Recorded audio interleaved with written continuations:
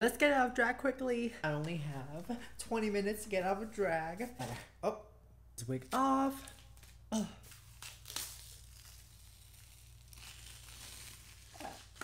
We're getting K barbecue right after this, so I am so so so excited.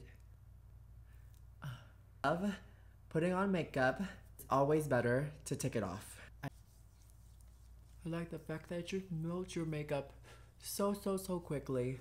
Really gets all the eyeliner, the glue, the glitter, everything off. That's much better. The NARS uh, Light Reflecting Moisturizer. That is it. Time to go eat a lot of meat and I'll see you guys next time. Love you guys.